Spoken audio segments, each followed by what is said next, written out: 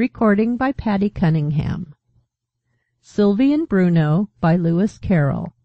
Chapter 24 The Frog's Birthday Treat And so it came to pass that just a week after the day when my fairy friends first appeared as children, I found myself taking a farewell stroll through the wood in the hope of meeting them once more. I had but to stretch myself on the smooth turf and the eerie feeling was on me in a moment. "Put oor ear welly low down," said Bruno, "and I'll tell oo a secret.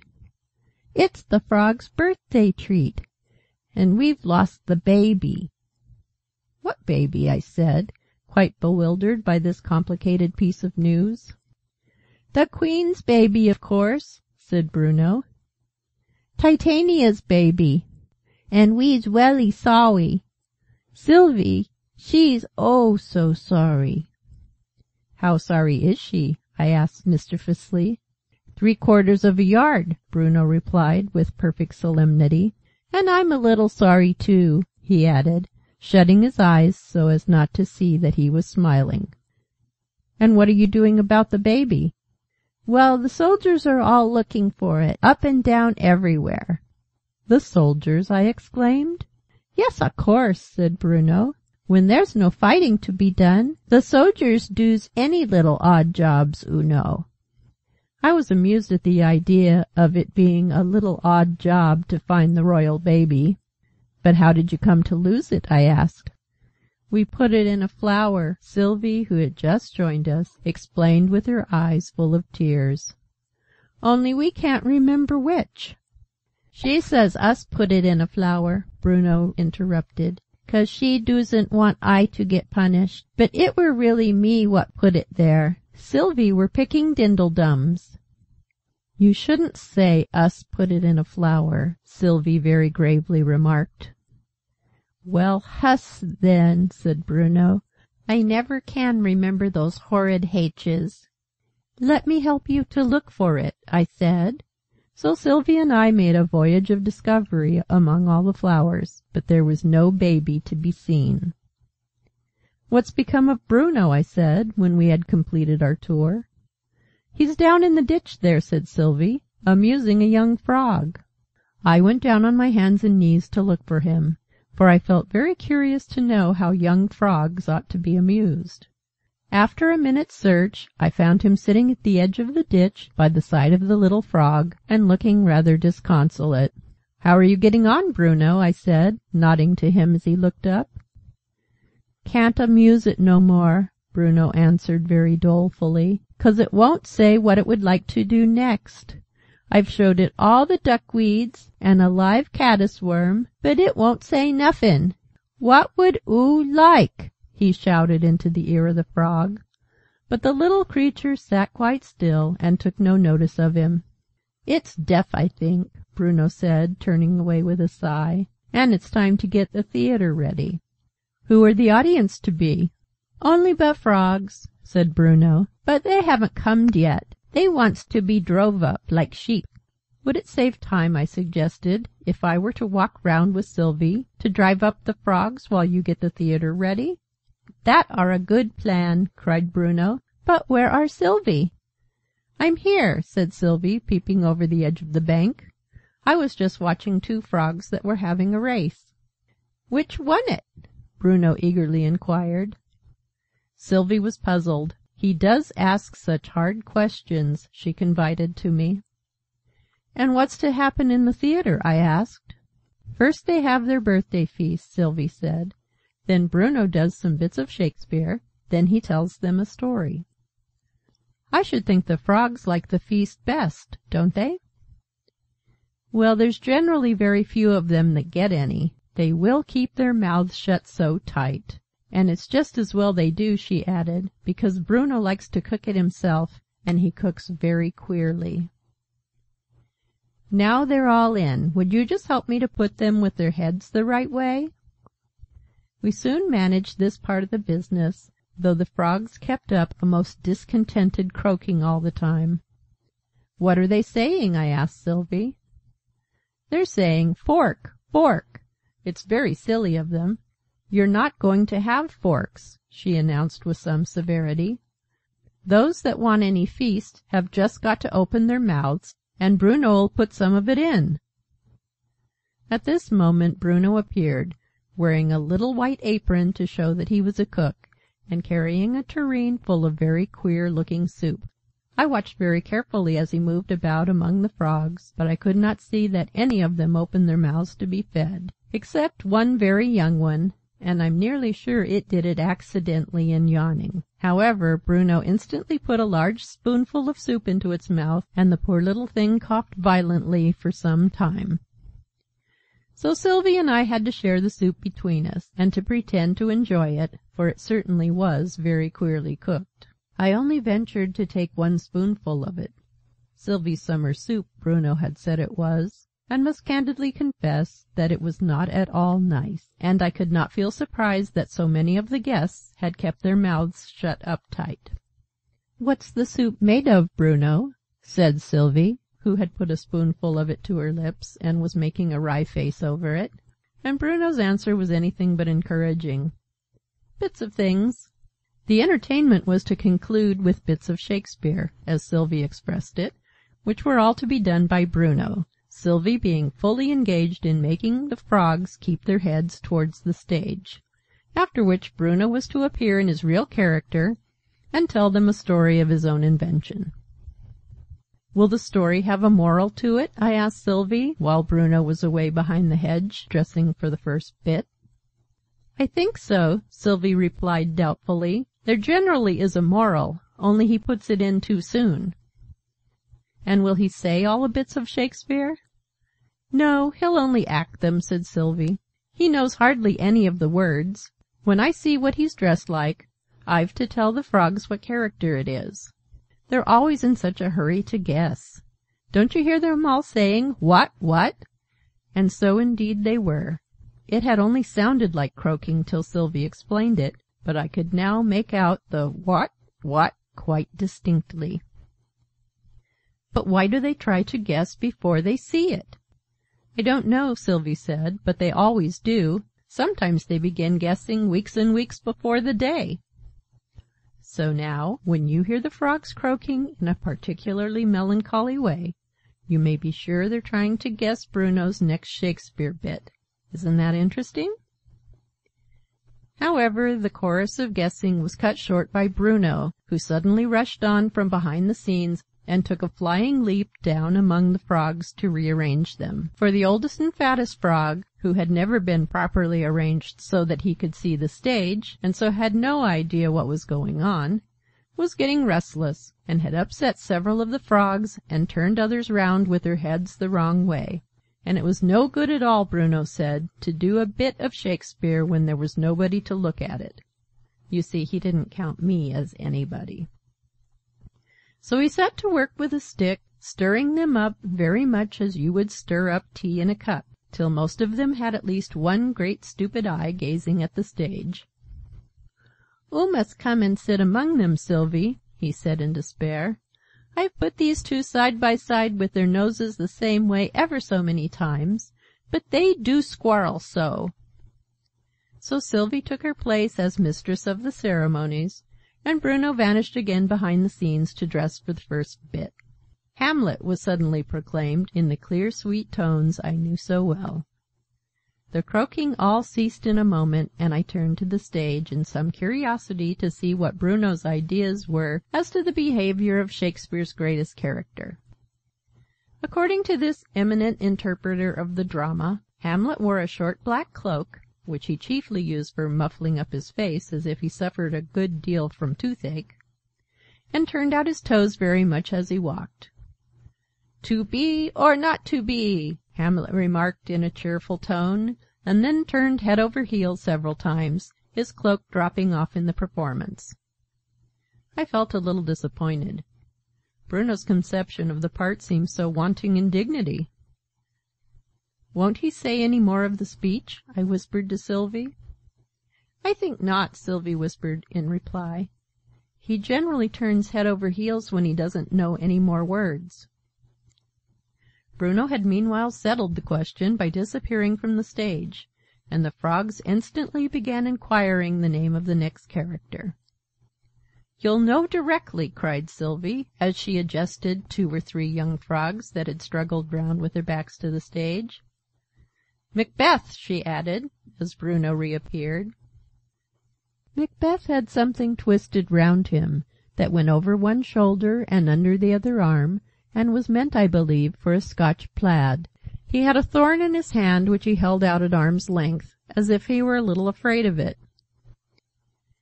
"Is this a dagger?" Macbeth inquired in a puzzled sort of tone, and instantly a chorus of "Thorn! Thorn!" arose from the Frogs.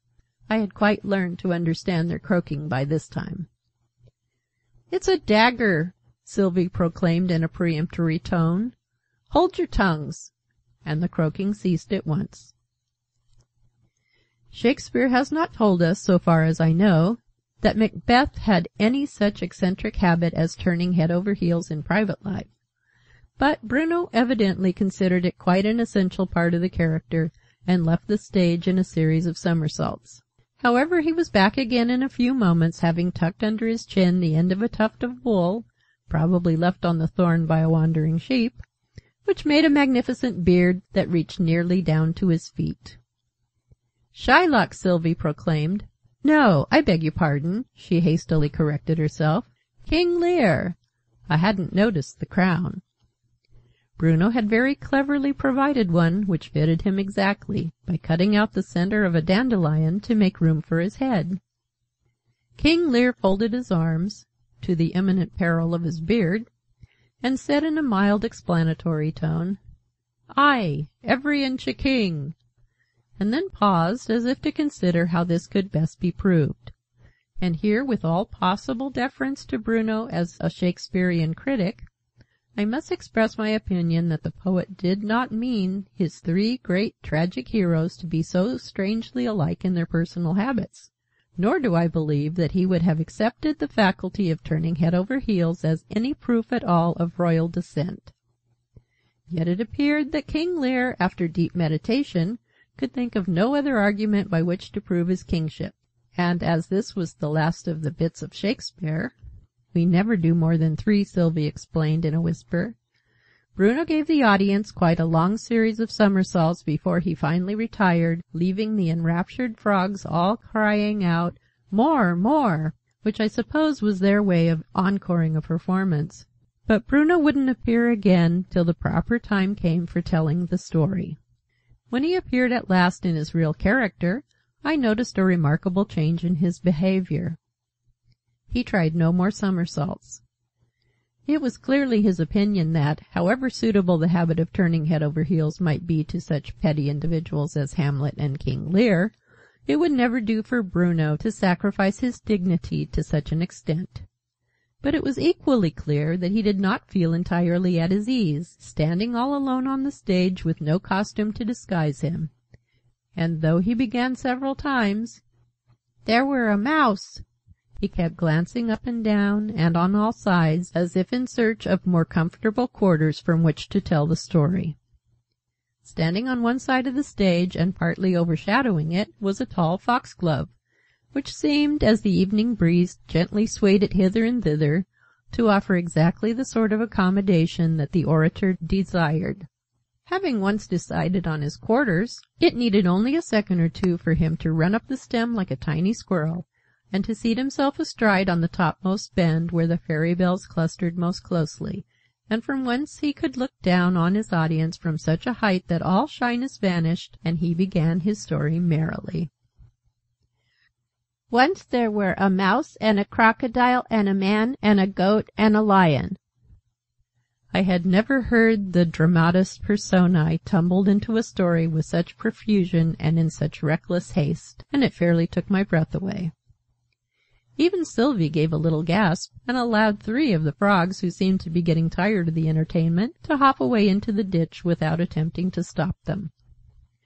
And the mouse found a shoe, and it thought it were a mouse trap, so it got right in, and it stayed in ever so long."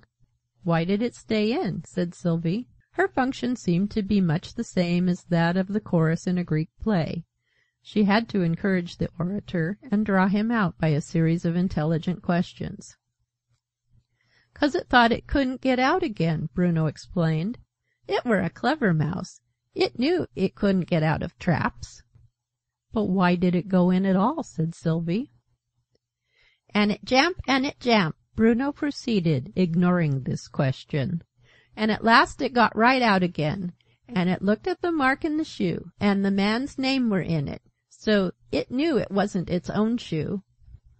"Had it thought it was?" said Sylvie. "Why, didn't I tell oo it thought it were a mouse trap?" the indignant orator replied. "Please, Mister Sir, will oo make Sylvie attend?" Sylvie was silenced, and was all attention. In fact she and I were most of the audience now, as the Frogs kept hopping away, and there were very few of them left. So the Mouse gave the Man his shoe, and the Man were welly glad, 'cause he hadn't got but one shoe, and he were hopping to get the other." Here I ventured on a question. "Do you mean hopping or hoping?" "Bofe," said Bruno. "And the Man took the Goat out of the sack." "We haven't heard of the sack before," I said. "Nor you won't hear of it again," said Bruno. And he said to the Goat, "Oo will walk about here till I comes back." And he went and he tumbled into a deep hole. And the Goat walked round and round. And it walked under the tree. And it wug its tail. And it looked up in the tree. And it sang a sad little song. Oo never heard such a sad little song. "Can you sing it, Bruno?" I asked.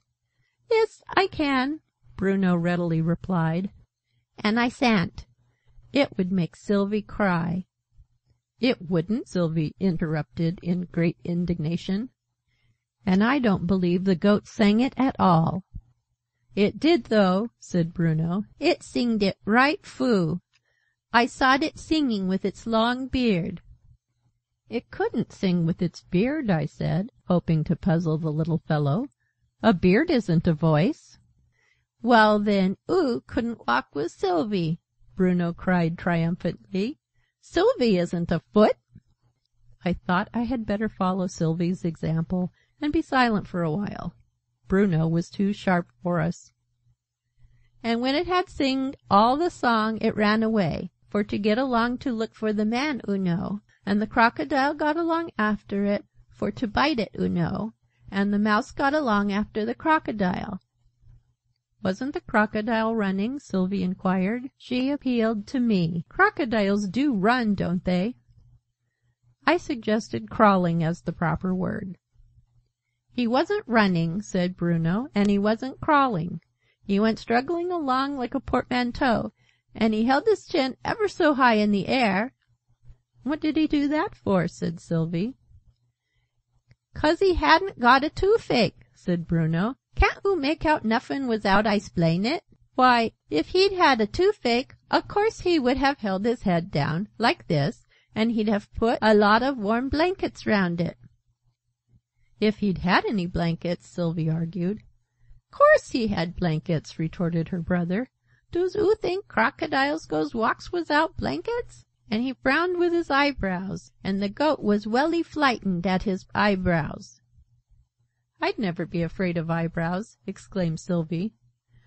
"I should think oo would, though, if they'd got a crocodile fastened to them like these had!" And so the Man jamp and he jamp, and at last he got right out of the hole. Sylvie gave another little gasp. This rapid dodging about among the characters of the story had taken away her breath. "And he runned away for to look for the Goat, oo know, and he heard the Lion grunting. "Lions don't grunt," said Sylvie. "This one did," said Bruno. "And its mouth were like a large cupboard, and it had plenty of room in its mouth. And the Lion runned after the Man for to eat him, oo know, and the Mouse runned after the Lion." "But the Mouse was running after the Crocodile," I said. "He couldn't run after both." Bruno sighed over the density of his audience, but explained very patiently. He did run after bofe, 'cause they went the same way. At first he caught the Crocodile, and then he didn't catch the Lion. And when he'd caught the Crocodile, what doos oo think he did, 'cause he'd got pincers in his pocket?" "I can't guess," said Sylvie. "Nobody couldn't guess!" Bruno cried in high glee. "Why, he wrenched out that Crocodile's toof!" "Which tooth?" I ventured to ask. But Bruno was not to be puzzled. "The toof he were going to bite the Goat with, a course!" "He couldn't be sure about that," I argued, "unless he wrenched out all its teeth." Bruno laughed merrily, and half sang, as he swung himself backwards and forwards, "He did! Wrenched out all its teef!" "Why did the Crocodile wait to have them wrenched out?" said Sylvie. "It had to wait," said Bruno. I ventured on another question. "But what became of the Man who said 'You may wait here till I come back'?" "He didn't say 'oo may,'" Bruno explained. "He said 'oo will.' Just like Sylvie says to me 'Oo will do oor lessons till twelve o'clock.' Oh, I wis," he added with a little sigh, "I wis Sylvie would say 'Oo may do oor lessons.'" This was a dangerous subject for discussion, Sylvie seemed to think. She returned to the story. "But what became of the Man?" "Well, the Lion springed at him. But it came so slow, it were three weeks in the air." "Did the Man wait for it all that time?" I said. "Course he didn't!" Bruno replied, gliding head first down the stem of the Foxglove, for the story was evidently close to its end. "He sold his house, and he packed up his things, while the Lion were coming, and he went and he lived in another town. So the Lion ate the wrong Man." This was evidently the Moral. So Sylvie made her final proclamation to the Frogs. "The story's finished! And whatever is to be learned from it," she added aside to me, "I'm sure I don't know." I did not feel quite clear about it myself, so made no suggestion. But the Frogs seemed quite content, Moral or no Moral, and merely raised a husky chorus of "Off! Off!" as they hopped away. End of chapter XXV. The Frogs' Birthday Treat.